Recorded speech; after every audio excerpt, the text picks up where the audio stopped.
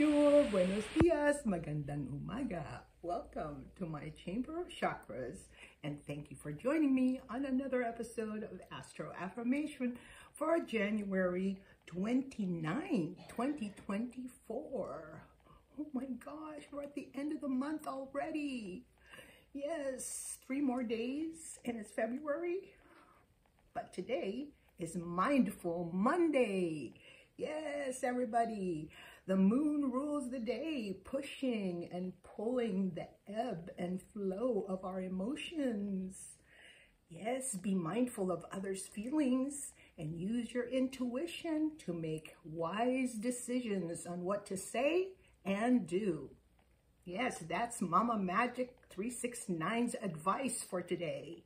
Kong Shifu says, live every breath you take to the fullest and stay in the eternal now. Kong Shifu is another name I adopted for myself when I was going through my transition stage, you know, that phase from a caterpillar to a butterfly. Oh yeah, thought it was the end, but it was just the beginning of a new life and state of being. I learned that it's all a matter of perspective. Yes, change the way you look at things and the things you look at will change. That's a quote from Dr. Wayne Dyer, R.I.P. Yes, it's true. I vouch for the authenticity of the message that you create your own reality. Yes, the stories we tell ourselves project onto the screen of our lives. The problems we face outside of us are symptoms of dis-ease within us. Dis-ease. Look inside of you first, and then you can investigate what's going on inside without judgment. Okay? Just observe. Yes, meditate. Merging the past and future into the present moment. Fix what's broken inside first and make the necessary adjustments to level the playing field. You know what I'm saying? Yeah, balance your inner world by bringing your chakras into a new level of equilibrium where you can see a higher perspective and states of consciousness, right? I know there are those of you out there who think my message is bullshit. But what can I say about that? I am a Taurus, the bull, after all. Yeah, I know a guy who happens to be Capricorn, the goat, who said that to me. Bullshit. when I was talking about astrology in his presence. I was like, meh. but all I can say at this point is look at him with your third eye chakra. You know what I'm saying? See that bindi between the two eyebrows? Yes. Use your wisdom and intuition to respond and your psychic powers to stay in, in the course, you know? Stay on your righteous path. No, I'm not giving you the bird. No. On the contrary, the middle finger has gotten a bad rap. But it is said that it is the, the z-axis of the hand. Okay, look. The thumb is the x-axis. The index finger is the y-axis, right? Height. And then the middle finger is the z-axis, right? It's pointing to you. Yes, the z-axis of the hand. The middle finger shows depth. Depth. It represents the truth. Responsibility, balance, and the human soul.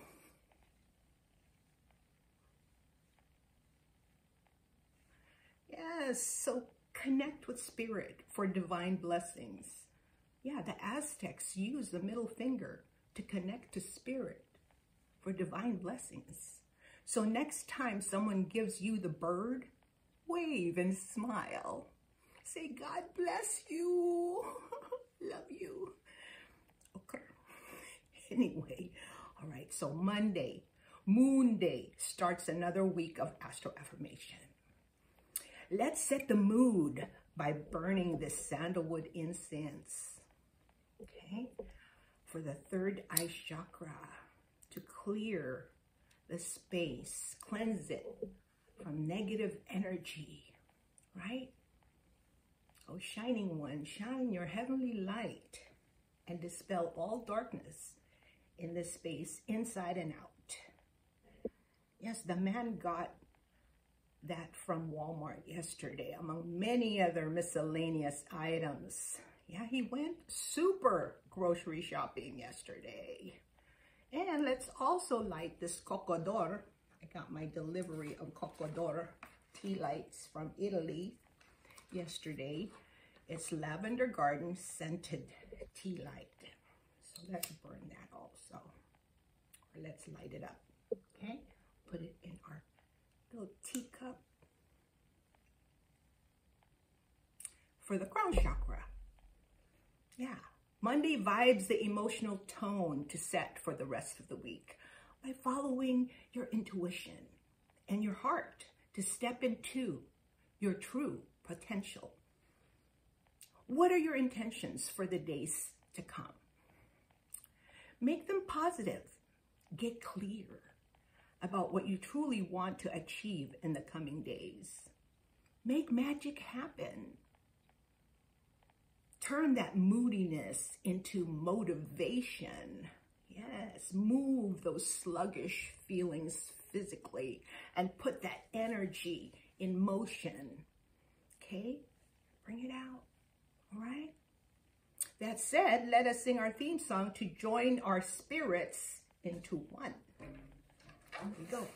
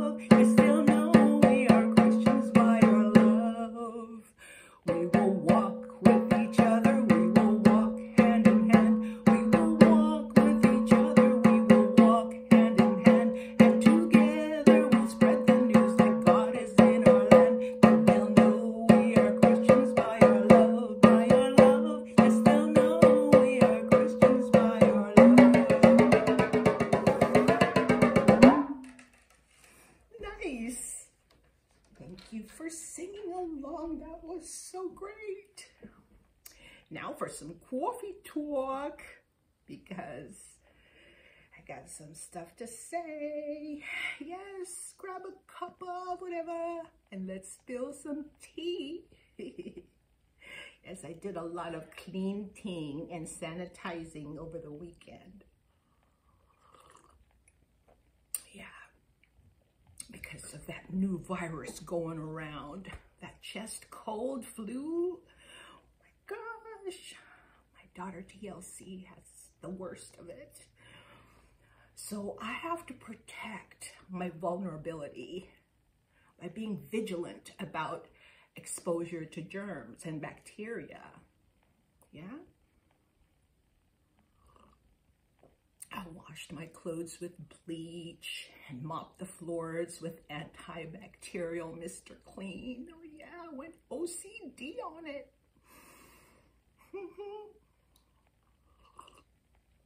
Oh, and I also finished crocheting this mandala. I showed you this before when it was just the central piece and then I shared it again when I got a little bit further, but now I've completed it. Check it out.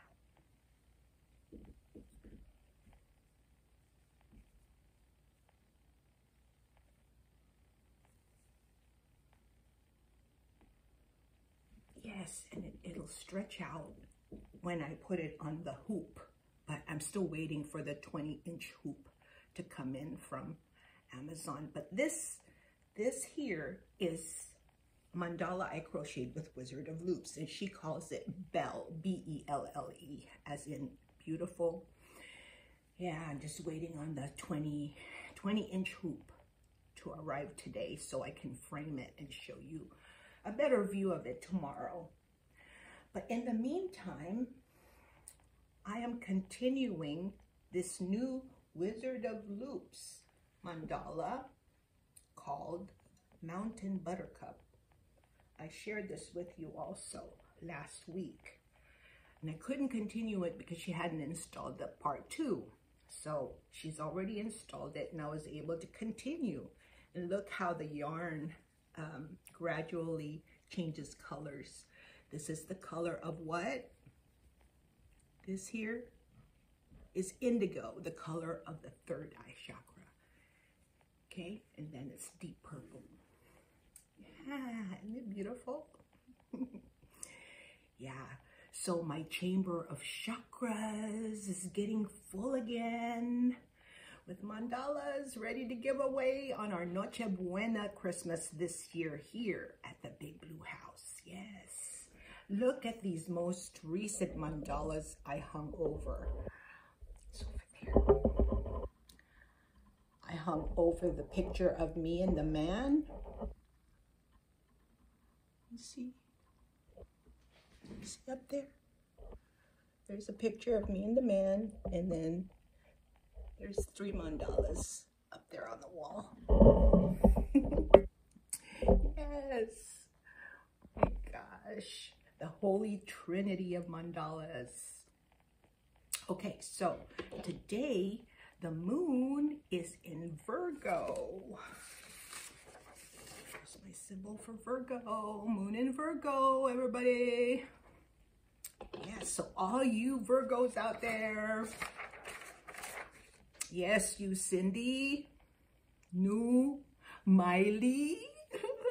Open up receive the oil of anointing pouring down from the core of your brain. The land of milk and honey. The pituitary gland is secreting the milk and the pineal gland is secreting the honey and combining it into a sacred secretion the cerebrospinal fluid.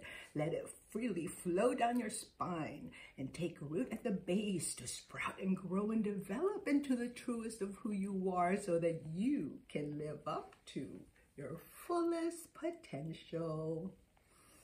Yes, Miley, I'm your second Filipino friend to call you Miley.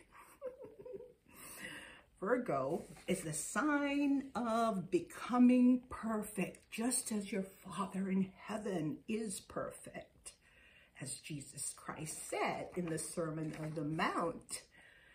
Yes, read for yourself in the Gospel of Matthew, chapter 5. Holla. Yes. So it's a waning gibbous moon, which means the moon is no longer fully illuminated right? We just had that full moon.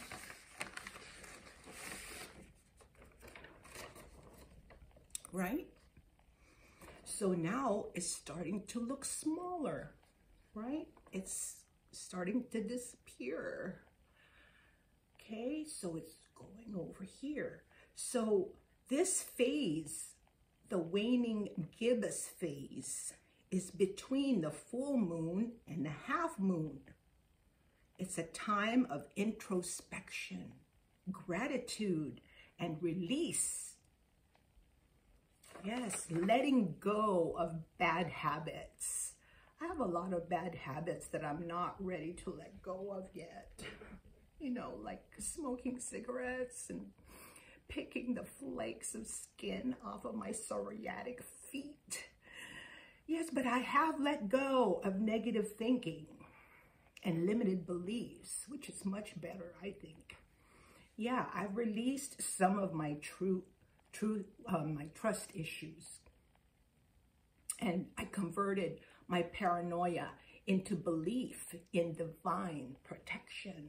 Yes, trusting God in spite of the world of lies and deception. Yes, the ruling chakra of the day is the third eye chakra, the sixth chakra of our seven primary chakras, right? Spinning sphere of energy in our spine that radiates the color indigo, dark blue, navy blue, deep purple, the third eye chakra, the ajna in Sanskrit, okay, it means commands, perception, beyond wisdom. Our sixth sense, extrasensory perception, the ability to see beyond the visible and behind the veil of illusions, right? It's located between the brows.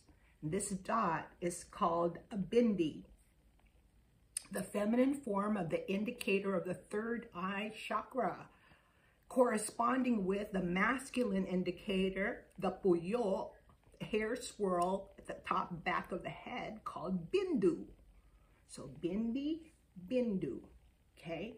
And they're markers indicating where the those chakras are. This one indicates where the third eye chakra is, which is right here in the eye, in the area of the eye of Horus where the pineal gland sits, right? In the core of the brain. So that indicates where the third eye chakra is.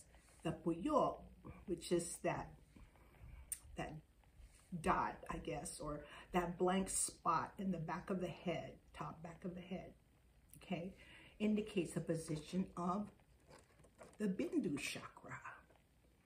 Yeah, the Bindu chakra is colorless, transparent. It's an invisible chakra, but it's there. Beneath the scalp, under the point where the spiral of hair begins, right? So see, here's the close-up of view of the spiritual chakras. The throat, the third eye, the Bindu, the crown, and the soul star chakra okay? The fifth, the sixth, the seventh, and the eighth chakras. I believe this is the eighth chakra, and that one is also the eighth chakra. The Bindu chakra and the Soul Star chakra are the eighth chakra because the moon and the sun. Remember I was telling you that the other day?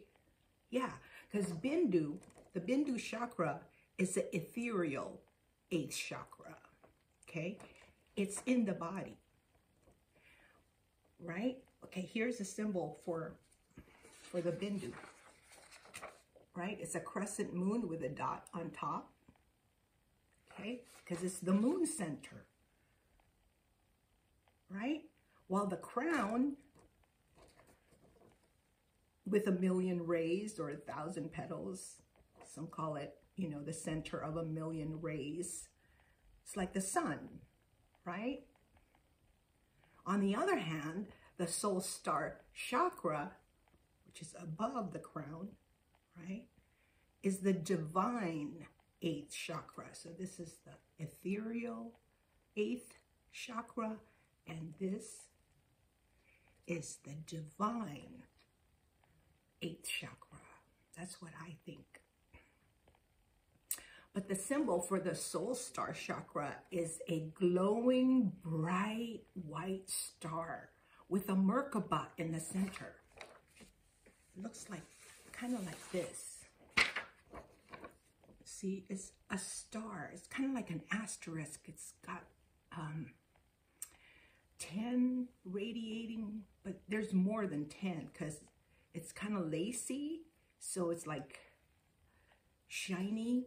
Anyway, there's a Merkaba in the center of it. Looks kind of like this. Yeah. So the soul star's color is brilliant white, pure light, pure consciousness, the presence of all light frequencies. So all the colors of the rainbow emanates from there. That's why it's white. reflects all the colors. Yeah, some sources say it's the seat of the soul, the place of omnipresence, the gateway of divine love and spiritual wisdom. Hence, the Sanskrit name Vyapini, Vyapini for the soul star chakra, the heart of the universe. Just as the earth star chakra and the root chakra are the home base of our ethereal self, the soul star chakra is the foundation of our divine self, the union of our higher self and God. So here's how I understand it. Okay, this chakra system, how it works. Earth energy, right? Earth energy comes up from plugging the root chakra to earth star chakra, right? Which connects our current to the magnetic core of Mama Gaia. So earth energy flows up the sacral, the solar plexus, right? And then the heart chakra transforms that energy, those dense energies of earth, right? And bridges them to rise to the spiritual chakras, which are these chakras, right? Yeah, the heart chakra takes us to church. Yeah, take me to church. Yes. And then we worship and praise with a true blue throat chakra, turning on the indigo light of the third eye chakra to pray, meditate, awakening the subconscious mind, which triggers the bindu, right? Worship, pray, meditate. Bindu drips the nectar of immortality, which should be caught. Catch it with your throat chakra to keep the fountain of youth flowing throughout the body because if you let it go down to the solar plexus chakra, the fire there will burn it off and, you know, it will waste it, right? So in order for it to be used completely by the body as a beneficial thing, you need to catch it here.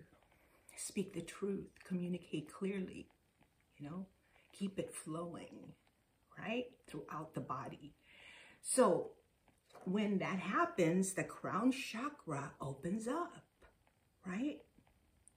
It lights up to connect with the cosmos. Its thousands of violet petals open as consciousness expands towards infinity, receiving inspirational download from the soul star chakra, our access to the Akashic records, right? The collection of information from all that there is. Yeah, all of emotions, ideas, everything that has happened, past, present, future, are all collected in that cosmic library. And the soul star chakra is where we can access that, as well as our past lives too. Yeah, because the soul star chakra is our truth and purpose, our soul purpose, the center of our past lives and life mission. You know what I'm saying? Yes, the soul star chakra is the extension of the crown chakra, just as the earth star chakra is an extension of the root chakra. Okay? You dig? Okay, so to summarize, The crown chakra is our individual connection to the spirit in the sky. That's where I go when I die. When I die and they lay me to rest, I'm gonna go to the place that's the best.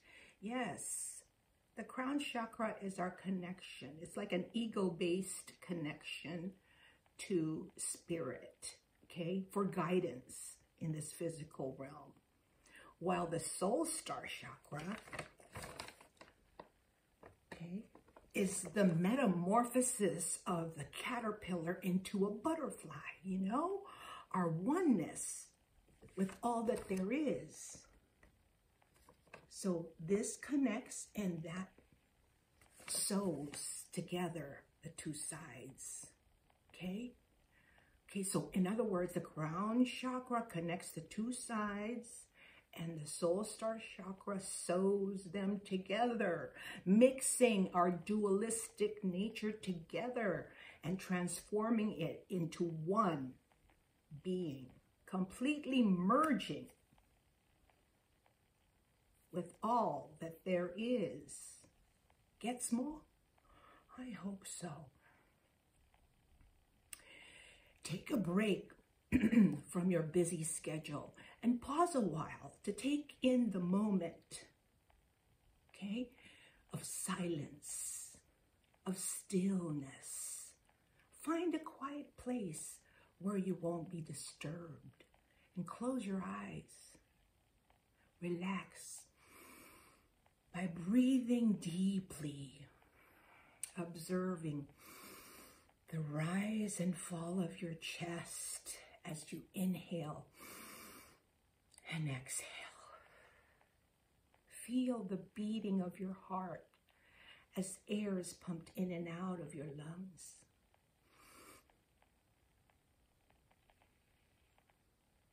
Hear the sounds inside and outside of you without judgment.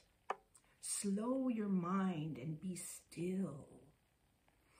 Get in the gap between your thoughts and stay in that space where there is no sense of self, just a state of being, one with all and all.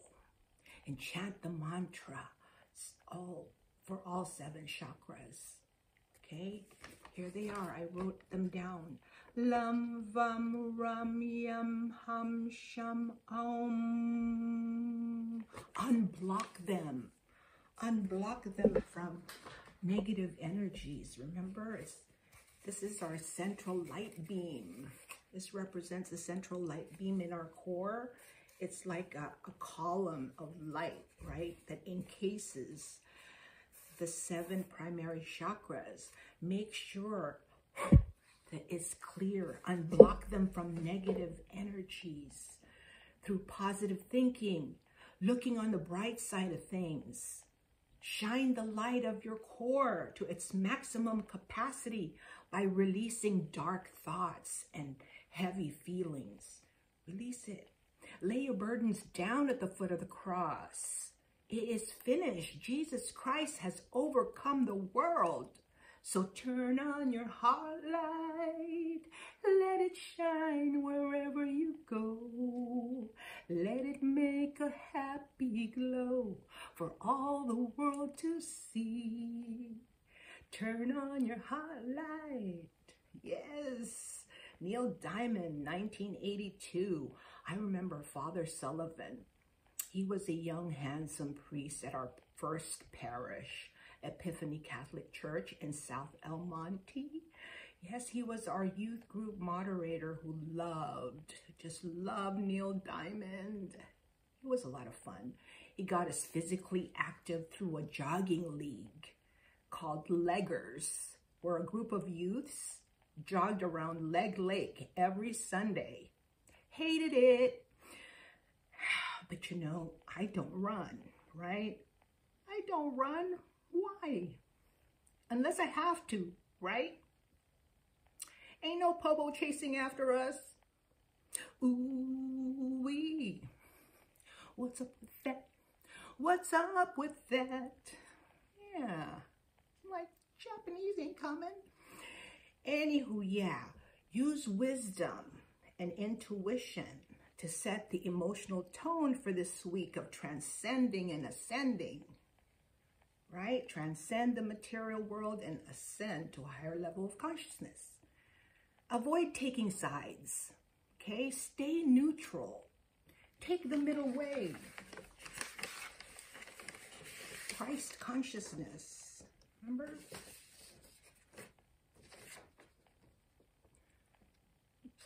This is the place of the skull where Jesus Christ was crucified between two polar opposites thieves, right? Both sinners, but one is too carnal, the other one's too spiritual, right?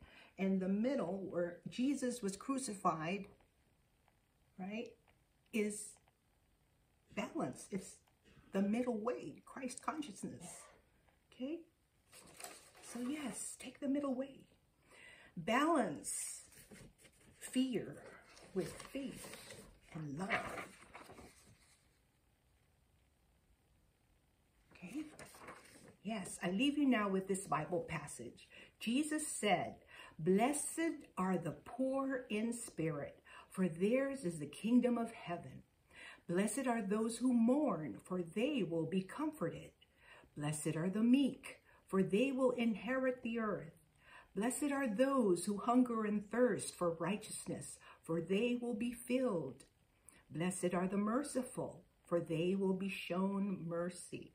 Blessed are the pure in heart, that's my favorite, for they will see God. Yes. Blessed are the peacemakers, for they will be called children of God. Blessed are those who are persecuted because of righteousness, for theirs is the kingdom of heaven. Blessed are you when people insult you and persecute you and falsely say all kinds of evil against you because of me. That's in the Gospel of Matthew, Matthew chapter 5, verses 3 through 11. That's all I have for you today. And once again, I honor God in you and me. Namaste.